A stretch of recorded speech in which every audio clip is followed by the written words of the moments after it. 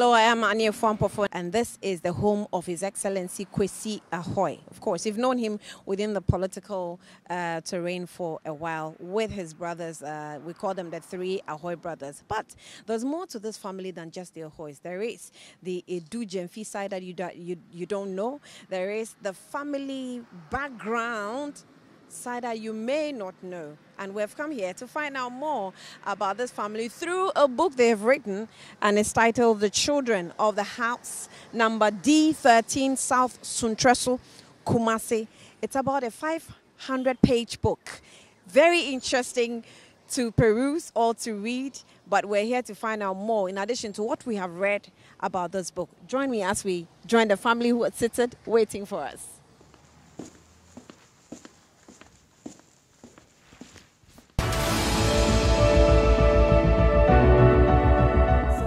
Am now sitting with a family that I can actually describe as a very close knitted family.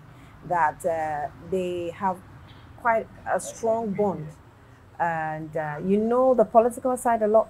But like I said, there's maybe some side that you do not know, and we're going to delve into uh, that part of the family. So good morning to you, the Hoys and the Adu-Gyamfis. Okay, let me start with Ankratu. I mean, we all know him as Ankratu.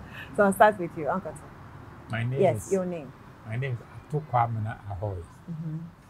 I'm the eldest of all the siblings. Great. The next one is. I'm number two, and my name is Kwesi Ahwoi. I'm number three. My maiden name was Ama Ahwoi. I'm now Mrs. Amachum. Mrs. Amachum.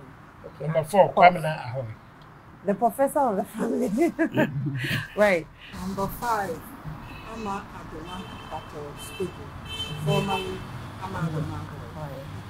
The Queen Mother.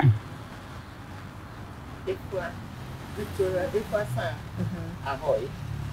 Now, Mrs. Efua Brambad, mm-hmm. aka Efua Amakon the First. Because all women of media traditional area. Mm-hmm. Baby? Agnes Apiejoy Danka. Um, I was Agnes Adu-Gyamfi. AKA Sister Aggie. AKA Sister Aggie. yes. Sister Aggie. I think it came from your mom, no so?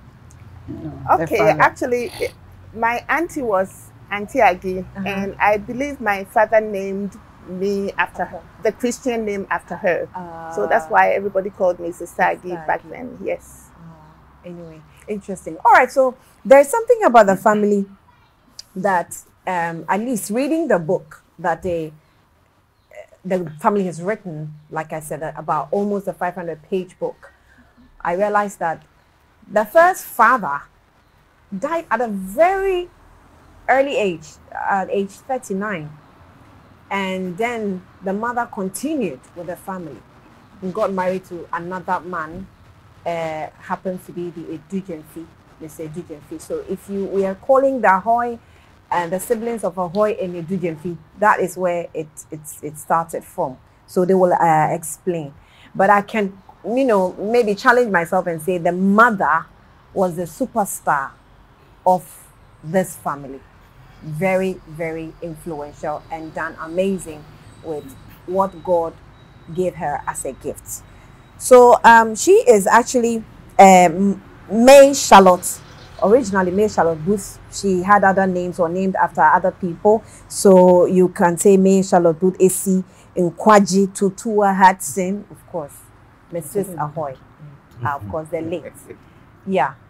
So let me, uh, I will let all of you have a round of your particular experience with May or Mommy. And I'll start with the eldest. uh, Mama May, as the younger children would call her, I call her Mommy because me, I belong to the old school. Mm-hmm. So we, we, were, we were used to Mommy and Mommy, not Mommy and all those things. She was a good mother very strict, a good disciplinarian, who was very, very, very decisive and who wanted all of us to come to our upbringing to be Christian upbringing. We tried, some of us tried to rebel, but she always brought us in line.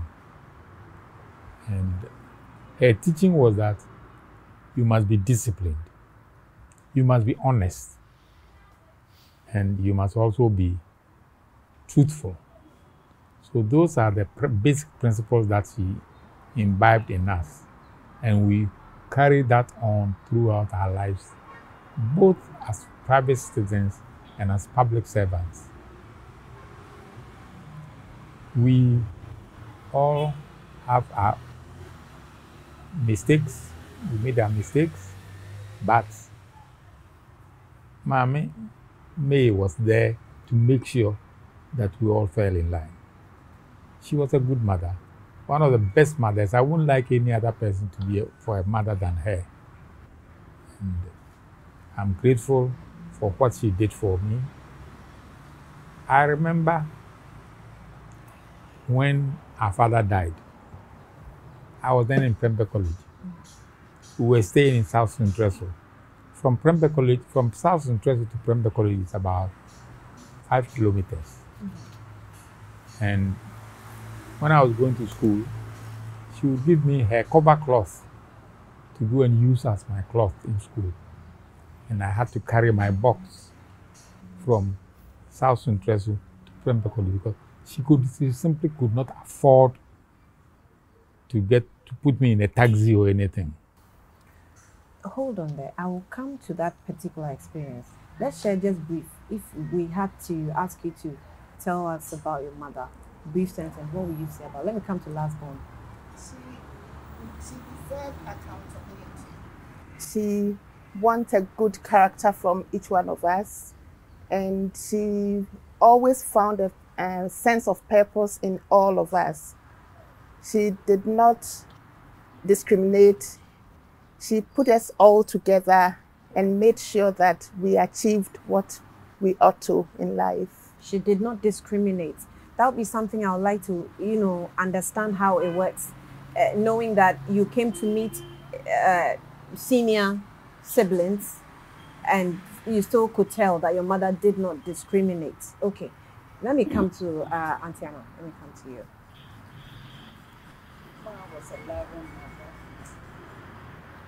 She was she had a sense of integrity. She was loving to the extent that I would say she always told us when you have eaten, I have eaten. Because we eat and then she sits. Ma, won't you eat? She says, when you are full, then I'm full. So until we eat and get full, she wouldn't eat because there was not enough food for us. But she had to see to it that we ate. Just like my big brother said, Ma would take her clothes, this is for us. Ma would give her her sandals to wear while she walked barefooted. And that was the ma that we had.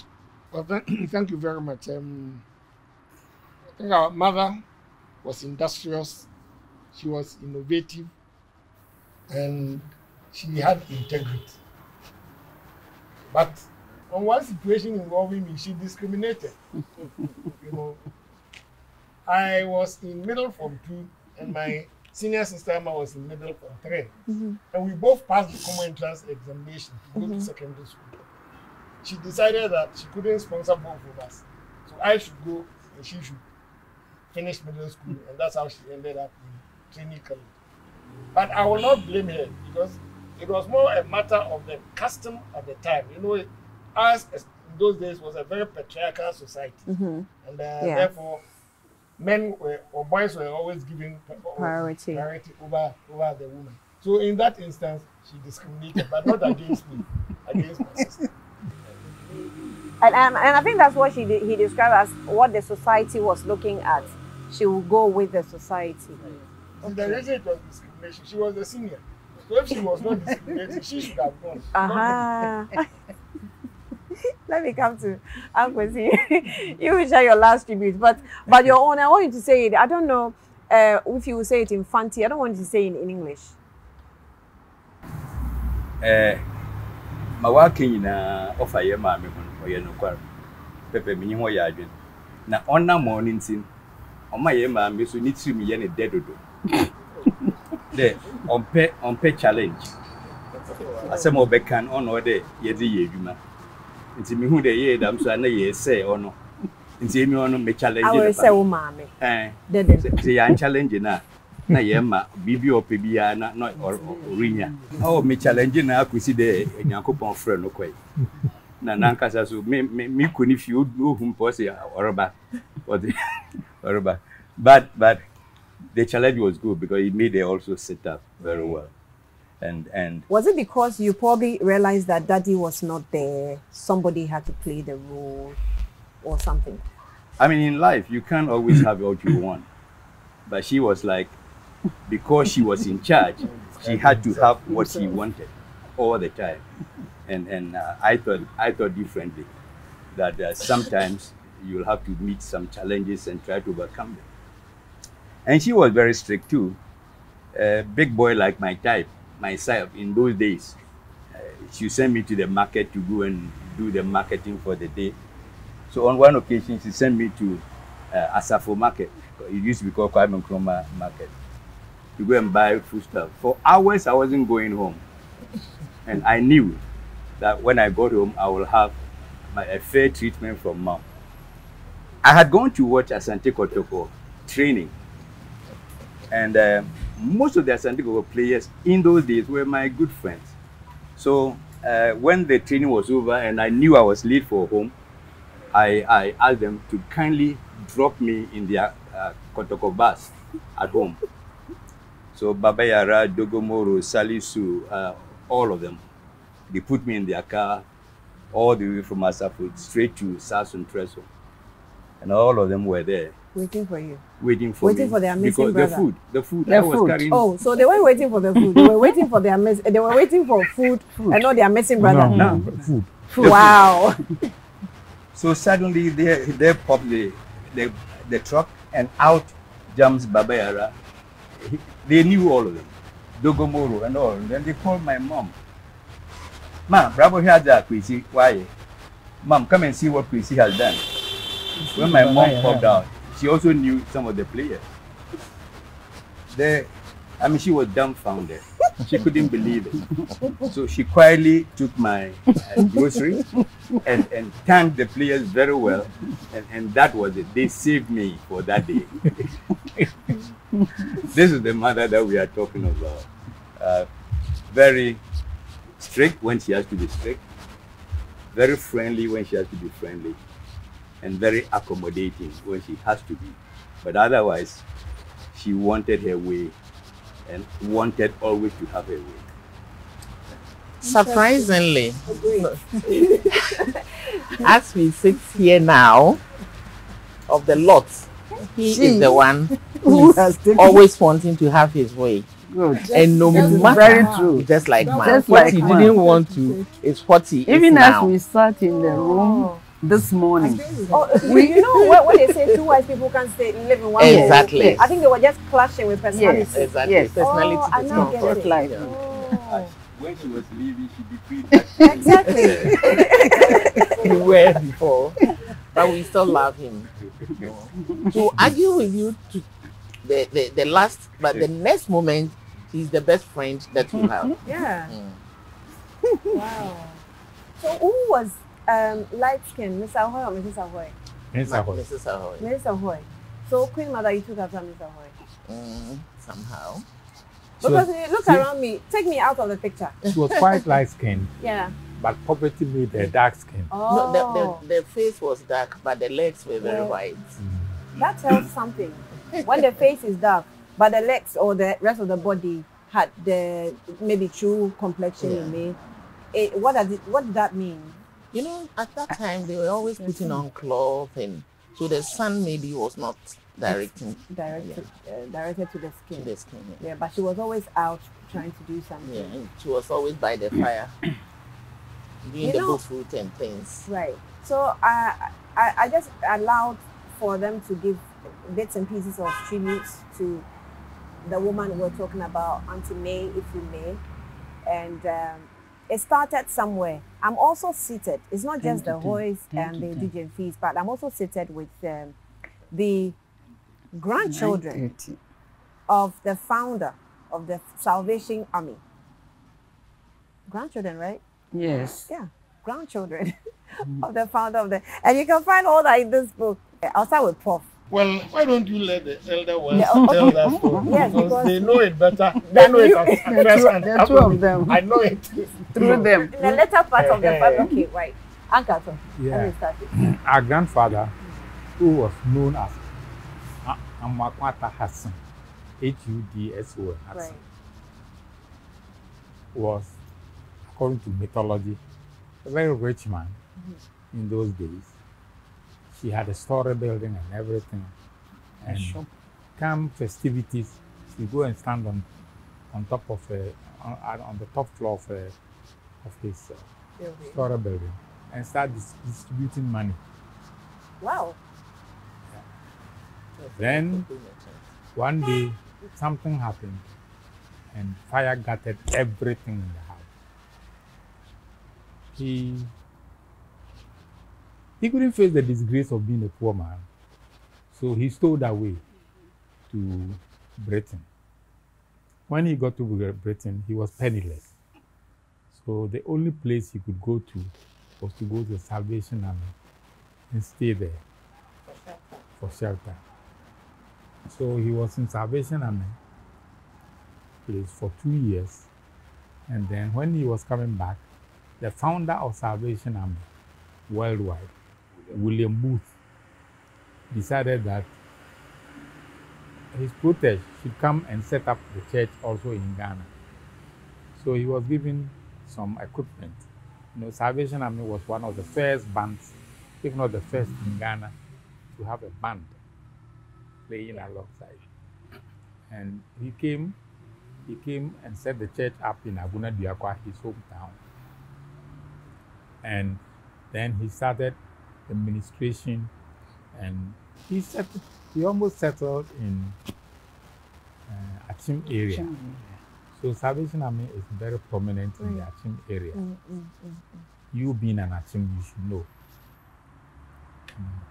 So that's how that's how come that uh, the Salvation Army gained root. Unfortunately, none of his children or grandchildren attended the Salvation Army. You the, the roots began with you. We are we, we, we are quite spiritual, but up till now, our mother never told us, nor did our uncles, why none of them enrolled in, the- in the Salvation Army. He himself also told me, Oh, okay. He himself told Yeah. you as Mm. well, and then your mother did, yeah, but she didn't explain how. I, I don't know if you can you ask. Okay, I'm you. too. Yeah. I think our mother married at a very early age, and our father was an Anglican. So he took her to the Anglican church. You know, when you marry, you go to your husband's church. So our mother went to the Anglican church. It was after the death of our father that she went, she became a Methodist. So I think that is the reason why she didn't join the Salvation Army. She moved with the husband around Ghana, and the husband was an Anglican. So she was following her, him to the Anglican church. And it's not our mother alone. She and her siblings, none of them was a Salvation Army. Salvation Army. But they enjoyed the music of Salvation Army, like we did when we were kids. We used to go in there and uh, the horns and the band and everything. The music was good.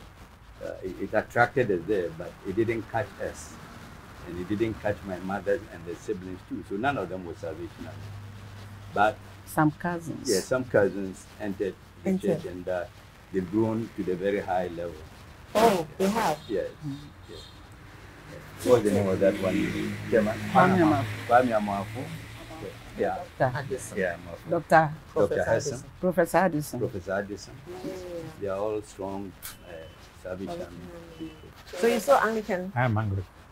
He was baptized in the Anglican. Okay, he was baptized. in The rest of us were dragged to the Methodist church, were baptized and confirmed in the Methodist church. With ex- Sister, exception of except me, sister my who- father mm-hmm. was a Catholic So my sister and I went to the Catholic Church.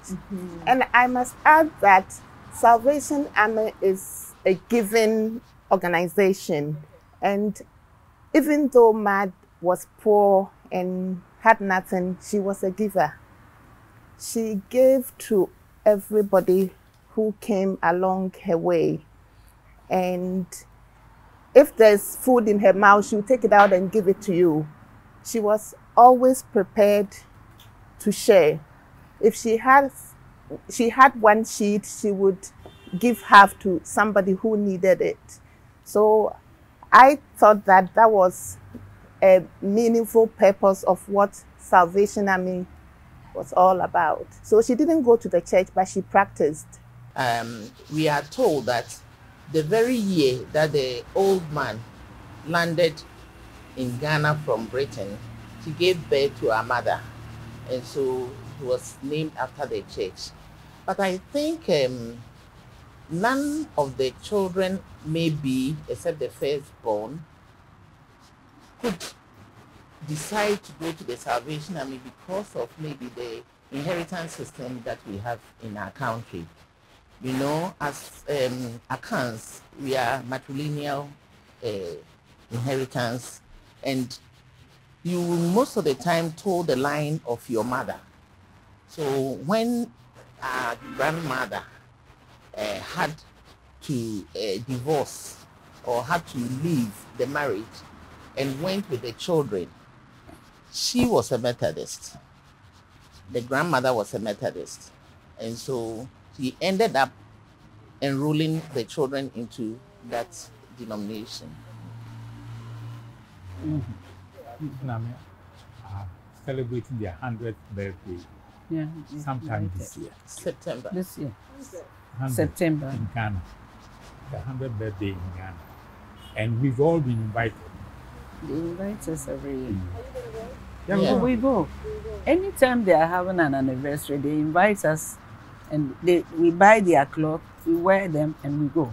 For your information too, the grandfather that we are talking about, the last of his wives was from Achimawiyaba, Mina Jane. Hmm. I, I hope I Esiapa. And, So from and Esiapa. his From name is Esiakwa. Amwako Ata, which is an Achim name Yes. Because his father was the Like, clerk to the then Ochim. Mm-hmm. So even though we are we don't we don't have blood Akyem blood in us, our grandfather we have a linkage with the Akyem. Eh, just you or others Just were me. just Just you. And then Uncle Z, you were. born Agona Mankron. That's where I was born. And uh, when they cut my is navel, Yeah. they put it in the river Ayensu, which is there. And the belief is that Ayensu will never take me away. I can't get drowned in Drowned in because Ayensu. I am with the river gods. I, I will add something to it. I went to Mancro way back then when I was little, and I went to the riverside with my cousin. Her name is Adoma, and then she pushed me into the river. I don't swim, so I was like flaying in the water, and then she pulled me out, and I we came home, and Ma said, your navel is in that river. You would have really mm. gone today. She- it was just like a belief Yeah, that yeah. yes, if your navel, my navel wasn't in that river either. but she thought no, she said her navel Yeah. is in that river. Her That's blood. why I did not drown. Anyway, so so And this is Winneba, No, No. Zwarungu. Zuarungu. I was born in Zuarungu. Zuarungu. Yes. Zuarungu. Yes. Of all the places in Ghana. Why? My dad was teaching there. I was with the two boys. The two boys were there and I I was And you were born there? I was born there. Okay, mm. okay, okay. Prof. Winneba. Winneba. Answer the man. Kumasi. Kumasi. So sounds interested there. Zio, okay. Kumasi too. Okay, okay, okay. So, oh wow. So you have been all over the place. You, you, you have a linkage across the country. I mean, the whole family has a linkage across. But tell me about the Gan lineage. Right. I think it's one grandparents. Mhm. Our our maternal grandmother uh, it's a gun Okay. from the basic area. And then she, Lakaima. yeah, La Kaima. like I might. And she gave birth to, according to the history, gave birth to two daughters, uh, Aborba and uh, no, Lalidi gave birth to Aborba and Bintuma.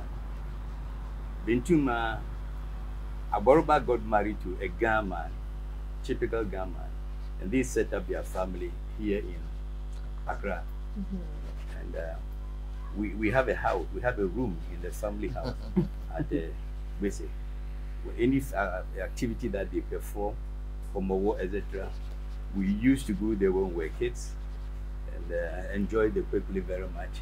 When we were installing chiefs and all, we were part of it.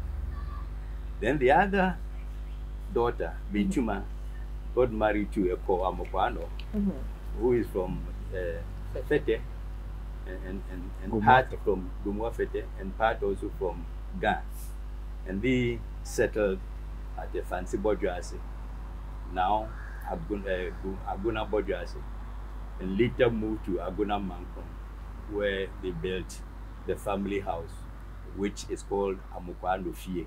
Let's come to South Suntreso, which is the the whole title of this book, uh, house number D13. So I f- again, let me come to Uncle. So tell us about the house, the number uh, D13 of South Suntreso. House number D13 Mm-hmm. has a special place in our hearts because that's where we all grew up. You know, because we were born at different times in different In places. different places. it was only in house number D13 South Central that we all congregated and grew up. I was born in Akroso, traveled with my father and mother to Enchi. Enchi in the western, In the western the, then- the then western region, now western north. North. Then moved to Zuarungu, where my father was a teacher. And he taught with Ella Rababana and all those people. Then he moved to Sehuyoso, where he went and taught at the government school in Sehuyoso. At Sehuyoso, I think he then changed occupation, moved to social welfare. Mm-hmm. You went to school at St. I went to school at Briefly. Sehuyoso. Briefly. Until I So you can tell he's very connected to Seji. Very much so. The two of them, Yeah, That's because all. they don't speak and you, you, without mentioning Seji. they speak the language. yeah, they do. They mm. do. I was, I started my schooling, not proper schooling, but then because my father was a teacher, when he was going, he, I followed him at Zuarungu.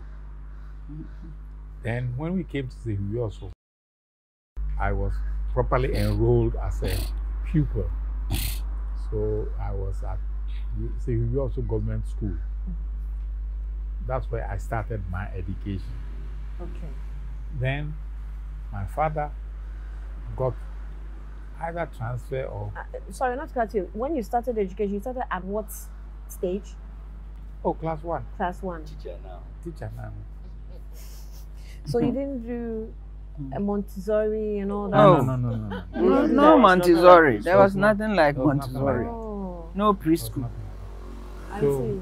I was in class. I went to say he also government, and the school is still there. And whenever I go to yours, I go and visit the school. And then we moved to Kumasi. it was in Kumasi that my father first. He, he had then moved from teaching to social welfare. So he was assigned to. Uh, I don't what's the name of this. That Asan Asawase Mufra Mufra Boni Mofra School. Mofra Boni School. Mufra Boni School. Mm. What's the name? Boys and girls. Home. Anna Right now, Bristol. it's called a correctional. Correctional. Correction. Oh, Mm. institute. Okay. Oh, Mhm. okay. So that's where he was working. So because we were in Kumasi, he had to find, and then because he was at Asawase, which is quite close to Ashanti New Town, we were staying at house number ME 59, Ashanti New Town. Mm-hmm. Mm-hmm. That's how I got enrolled in Wesley College Party School, mm-hmm. which is quite close to As- Ashanti New Town. So I went to Wesley College Party School. Party school was something like what today you will call Montessori. experimental school because the teacher Wesley College was a teacher training college, and the students who had to come for teacher training teacher training used we the students at Wesley College as the guinea pigs Mm. Mm. because they, Mm. they they came for teaching practice and everything. Uh, advisedly. They came for teaching practice and everything with us, and it's, it was a very good school. Once I went there, AC2 came there, Wesley College, and That's number D13. then our father rented a house built by House State Housing State State Corporation, Housing. Corporation, yeah. and that house is D house number D13, South Suntreso. So uh, at some point, that the house became yours. I think temporarily. Uh, it was leased. It was a lease. What was the arrangement like? Housing Corporation was, was building houses and leasing them out. So our father leased this one for, I think, 50 years or something. years. 50 years. 50 years, or something like that. Then, when he passed, our mother had to take it over. And this occurred with the help and instrumentality of the Department of Social Welfare. So, that house, house number Yeah. D13, is in the name of our mother. I don't know whether it's still in the name It's or still it's in in her name. name. Yeah, because it, it was leased So- cottage. For Mm. 50 years. Is that not, uh, hasn't it expired. elapsed? Yeah, Uh, or it's been renewed. It's been Renewed. renewed. Yeah. So, I mean, when I saw the, the lease, then I was thinking, oh, this state's houses issue that we're talking about today, Way back. it's, it's, it's an, you know, old uh, practice. But I wanted to understand how it, it was working then. And then Let me, let me give you a little. Yes.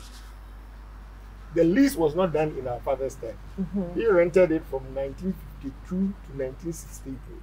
Up to 1962, it was in his name. Mm. But 62, he had died. And um, our mother had struggled with his, our father's family. Social welfare had intervened and gotten it allocated to our mother. So in 1962, she entered into the lease with, with, with Housing Corporation Mhm. for 50 years. So the leasehold expired in 2012. And that is when we got, she was alive, that's when we got it re- renewed for another 40 years in her name. So right now it is in her name, but because she's dead, of course, it has a. What forces was she able to marshal? Because after your father died, according to the book, it was a struggle, Yes. even with your father's side family. So how was she able to, you know, marshal some forces to get a lease of over 40 Well, years? you know, as Ato, Ato said, um, he was working in the social welfare department. And social welfare's responsibility is to look after abandoned children, children who have no caretaker. Right. his family had come to struggle with our mother and taking everything movable. You know, they call it chattels, taking all the movables away from the house.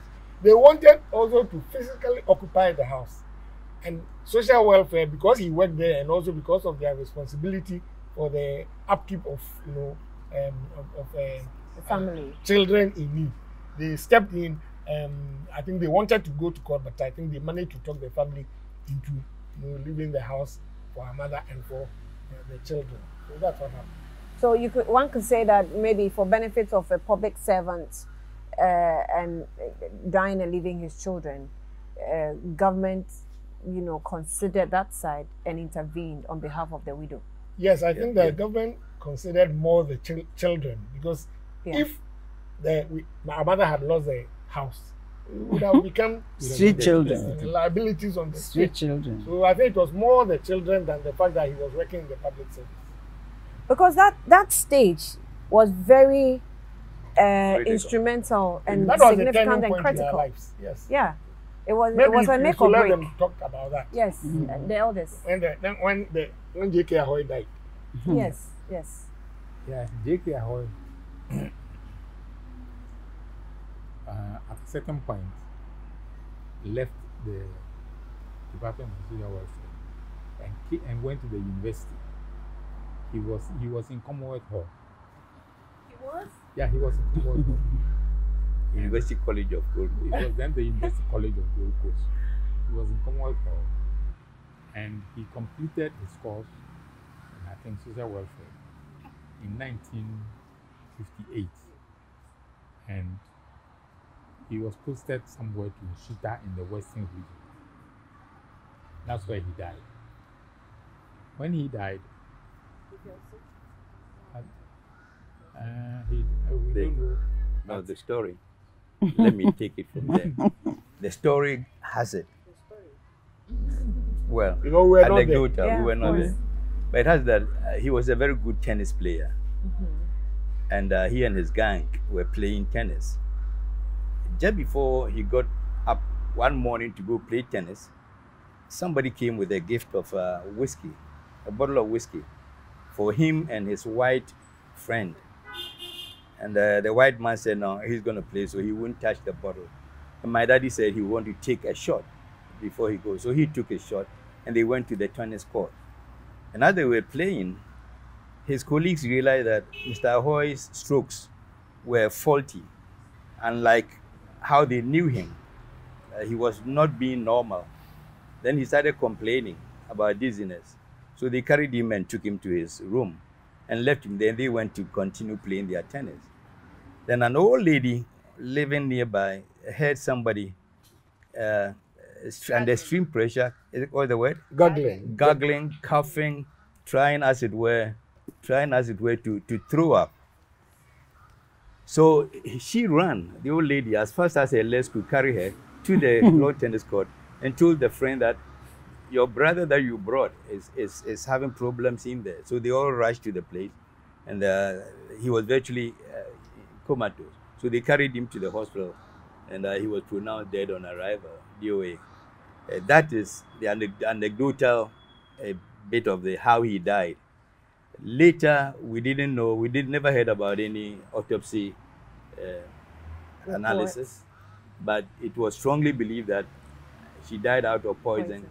From that whiskey bottle. Uh, that that is the way the story went. So we were young, playing in South Suntreso. So when the news was broken to our mother that uh, her well, husband. she was not with him there. No, she was in South Suntreso with all of us, and that their uh, her husband is seriously sick, so she should go to uh, Nsuta. So she stopped everything she was doing, jumped into the train. In those days, the train was working. Kumasi, Nsuta, mm. the train was night working. Train. Jumped into the train, the night train, and got all the way to uh. The other side of the story we had was just before they got to Nsuta, mm. some two gentlemen boarded the plane, uh, the, the train, and, and, and sat close to my mom. And then this, one of them started chatting. Hey, have you heard the news? Mr. Ahwoi, that fantastic tennis guy, he's dead. And my mom was sitting right by them. She, she, she almost collapsed. She almost threw herself through the window. So when the, the gentleman realized that my mom had become hysteric or hysterical, uh, they, they, grabbed hold of her and she told her the, her name and everything. So they took her to the place. And uh, that, is, that is the end of the story. So the body was prepared and sent to his hometown, uh, Ariam, Sefwi Ariam, where he was buried. My mother and her sister, Aunt Abakorwa, we call her Aunt Abakorwa, that's her elder sister, had to go to uh, bury the old man at, at Sefwi Ariam, near Sefwi Wiawso.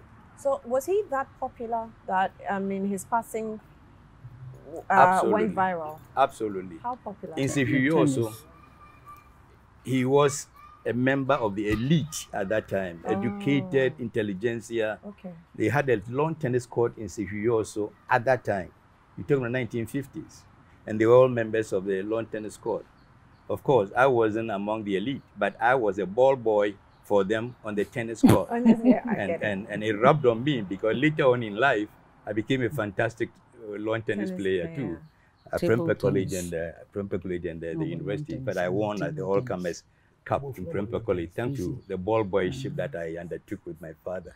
Congratulations on that one. so, the whole town, I mean, it's the funeral was something, it's a spectacle.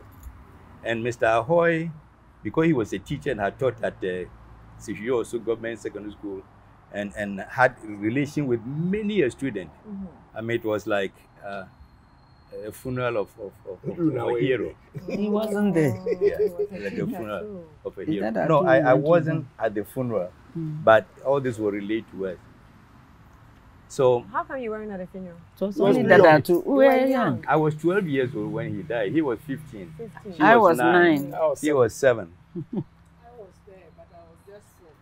and she was That's why she's been so quiet, taking account.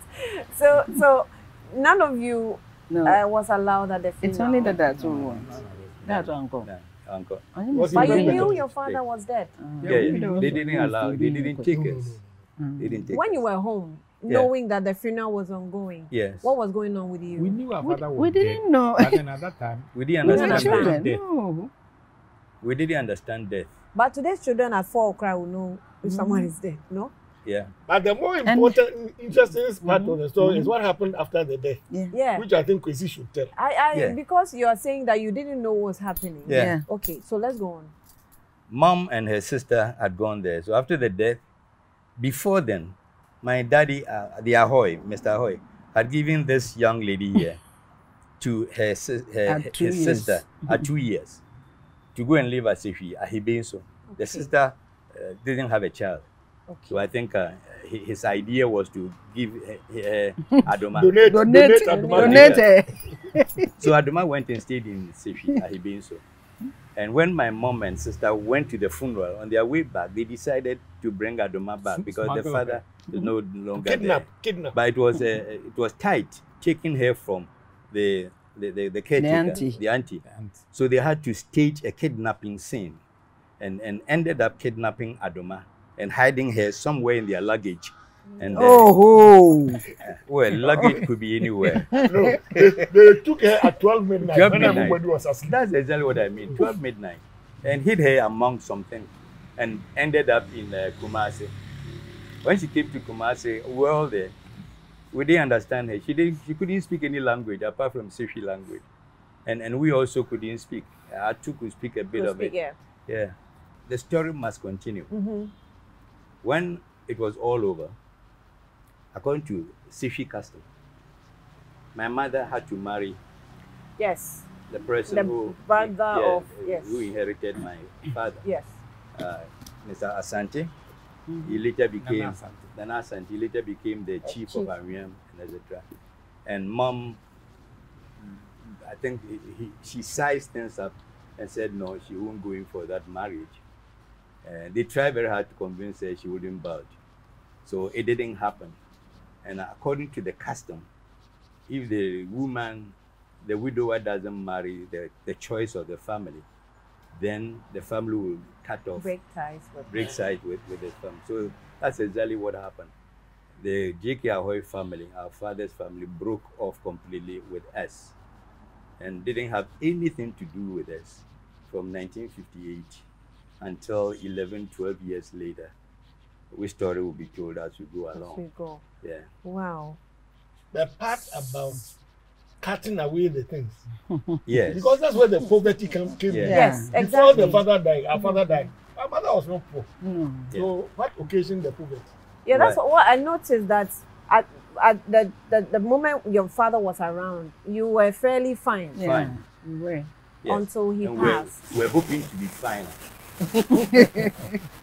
We were. until the death struck, and then the family, again in line with custom, decided that every property of the man belonged to his maternal side. So they brought a whole gang, uh, led by his younger brother, who was living with us in South Suntreso House And in secondary school. Yeah, and he was in secondary school at that time. Uh, Kumasi.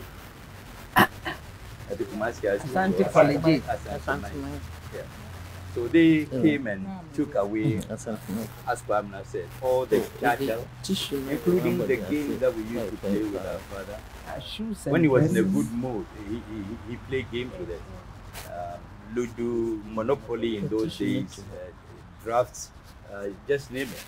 Uh, the shoes, the children's shoes and all, were Our books, taking our textbooks. their box, all his books, all his clothing, books all, uh, no, the children's boxes and shoes all ended up at Ahibensu. And the interesting thing about Ahibensu at that time, whether you the, no vehicle got to Ahibensu. Mm-hmm. The nearest they got to was Sefwi Bodi, Mhm. which is the capital of the Sefwi district, Bodi district of today's, you know, uh, um, Western North. Western Western North. North region. So they carried everything that they, they, they, they hauled, including the broom and everything, to Bodi, and then they carried, head carried everything to When, when they, they were carrying the items, where were you? Were you crying around? where We the- were still little children. Devastated. We didn't understand Fifteen. what was Mama happening. Twelve. Your mother Time. was not there. No, You ma, there. ma, no. Ma was there. Was Ma was there. not there. She was in Biafra. Ma was with her not there. Oh, Biafra. Ma was was in not Biafra there. with their father. With so their you father. Were left in the house alone. Yeah. Mm. Why So- were you left in the house alone? They were schooling. Oh, we had, we had, she had some elder people with us. Taking care of you. Uh, Akole, Sewa, uh, Kuyaba. Okay, so you have some caretakers. Yes. Okay. And some of the caretakers were my ma- my father's side, So they Relatives. were carried away. and they carried all of them All of away them. Oh, so and they left only all- Akole, our mother's side caretaker, Oh, uh, who stayed with us. Okay. So everything ended up at uh, Ahibinso, and um, nobody was there to use the books, nothing. But Akole was your age mate, so she wasn't Yeah. a grown up. No, Yeah. she wasn't a ta- caretaker. So the, No. the children were In very fact, well. Mr. Mr. to- Quitris, Mr. Quitri and the wife Yeah. were taking care of us. Right. Okay. But That was- Ak- Akole was the caretaker then. Oh, No, he was your age mate, Yeah. so he was with us.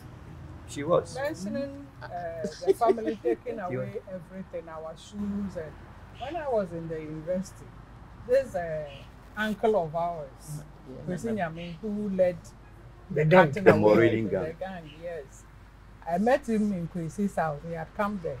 He says, "Adoma, umpaboa wa muho." I said, "What umpaboa?"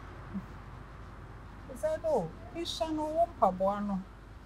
I'm saying, "Ah, you didn't wear it." Well, he didn't. He couldn't get anybody to. Two-year-old my shoes. He couldn't get anybody to I told him to go and wear the shoe But why was he telling you that your shoes are there? because it was there. because they had carried it away. They didn't, they didn't have any use of it. You know, so that is that is the way things went. That He that later took came. us to the poverty Yeah. level. Lane. Yeah. Because everything of us have been taken was away. gone. So we didn't have a bed to sleep on, Mhm. but they had carted everything away. What was it? Wow. What was Unfortunately- Yeah.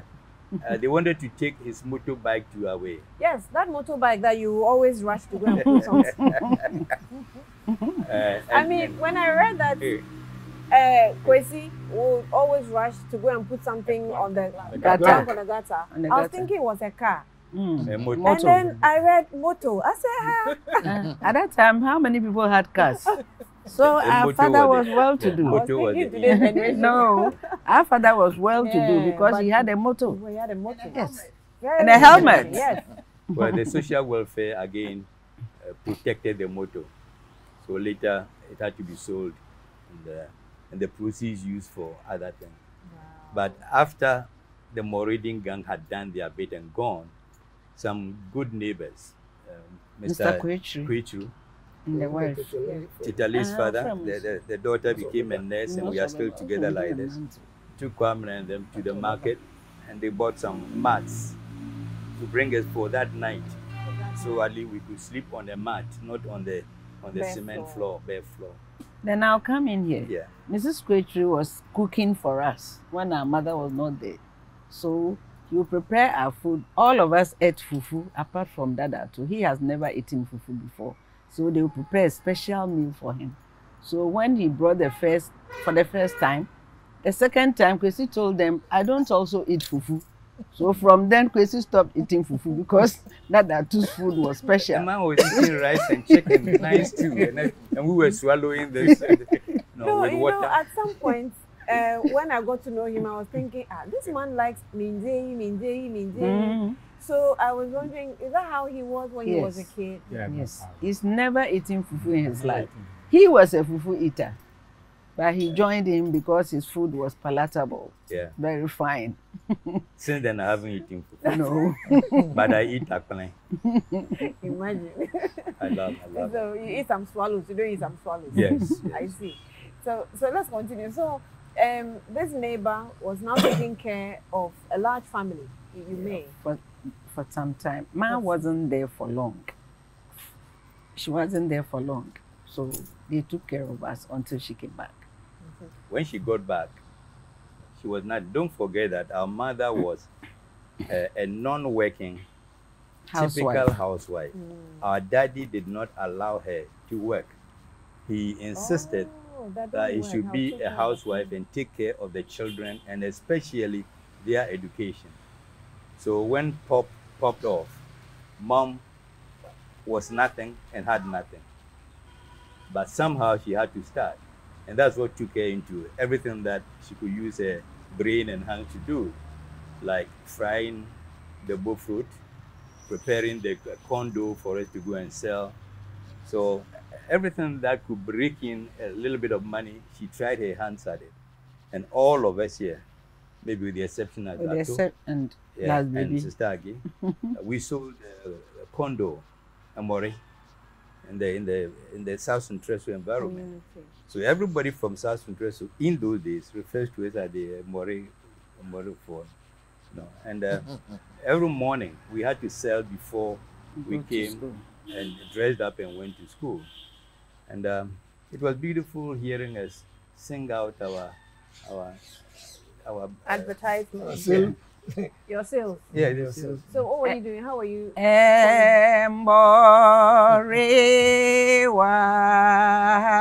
Emborewa. you are carrying it on your head. Waking people from the their That's evening, how you were you- doing in it. That's how are- we're doing it. So you the, created that the yourself. kerosene No, you- in buckets. in, a beer bottle in buckets. And you be carrying it on your, on your head and uh, shouting. Kesi waha kotwa te kunidamo. That's the price. Yeah, that's yeah, it. that's the price. It's crazy here.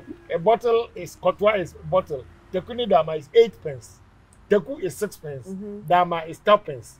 So the two together you get eight pence. There's some interesting That part in the book that readers will be excited about. Kwamina was carrying their mori uh, somewhere, and there was some tree there. There were some monkeys up the tree, and apparently they had seen Kwamina every morning at a particular time pass under the tree.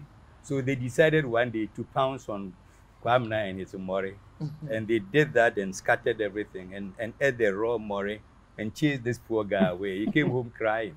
and then they it, con- they continued for about two weeks. He was disturbing their sleep because the memory was so With the noise. morning. Monkeys can actually be very, Mhm. you know, violent and in a way. Anyway, so so we will go into the area of where when this challenge, you know, the family, the family's financial situation dipped, and uh, maybe it, it, it got uh, on a plain stage, and then they began to rise again. But we'll get that. Uh, we'll get into that area. Let's take a quick breather. Before we get there, don't forget to ask about our other father. Yeah. Yes, of course. We haven't gotten And there. because we haven't even gotten there, Mm. where the second father comes in, that, that will be an interesting, um, you know, uh, you know, part to know when Mrs. Ahwoi fell in love again.